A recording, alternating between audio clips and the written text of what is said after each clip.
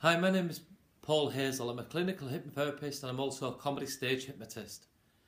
Now, I've been a comedy stage hypnotist and a clinical hypnotherapist for over 18 years, and I've performed all over the world. Now, I've helped people with all different issues, whether it be stop smoking, weight loss, phobias, anxiety, stress, confidence, fears. I think I've probably covered most things. Now, people ask me how did I get into hypnosis. Now, I was more skeptical than anybody. I didn't really believe in anything.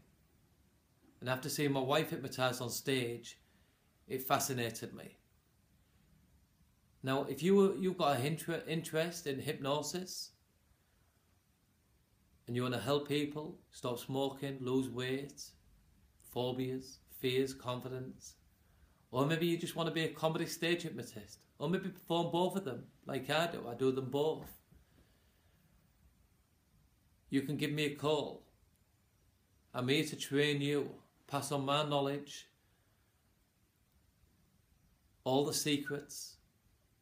My number is at the bottom of the screen. Give me a call. Let's have a talk. Or even visit my website. Send me an email. Thanks ever so much for listening. Thank you. Everybody has a story. Every life has its challenges.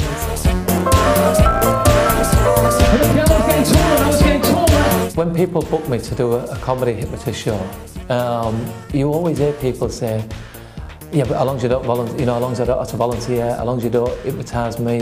Phobias, anxiety, fears, stress, depression, confidence. People are quite sceptical about it as well, but do you know, what? it's amazing after the show that people come to me and go, next time I want to do it. My thoughts on hypnotherapy, I, I've always kind of been open to it, to be honest with you. I did have it about seven years ago. I never kept up the sessions, but I, I, I to be honest, today's blown me away. It's been a completely different level. All ladies and gentlemen, knock yourself out. Cheers.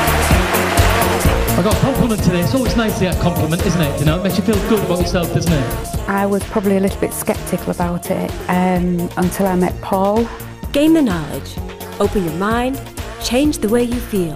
I went into Paul's clinic in Hull to witness something really as part of my police investigation. Told him that my wife was pregnant with our first little boy. Madonna, there's a chance!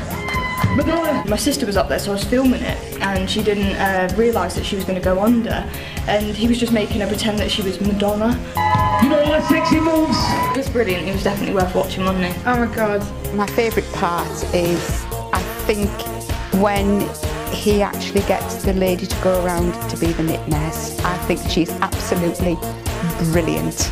He did a like a little induction into relaxation class with me, and he said I'd be a really good candidate for hypnosis. I went to see Paul and I then lost around about seven or eight stone. It changed my life. My life. Life can be difficult. Life is unpredictable. People coming together, people looking for answers. When I was diagnosed with cancer, Paul was the first person that I turned to. Being hypnotised, it's a natural state. It's like driving, watching TV. People think there's a danger to it. There's no danger whatsoever. I felt that he was someone to lean on because I didn't want to trouble my family. We've already got booked in for our next child, but on its way, so yeah, it's going to be amazing. Anybody who says that they don't believe in hypnotherapy and they're sceptical about it, all I can say is you have to try it before you can make those decisions because my voice is the most important voice in this country.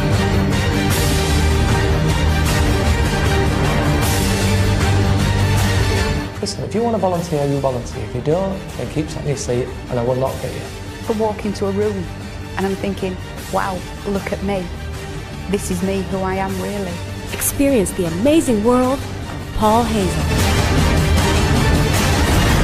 Enjoy the show.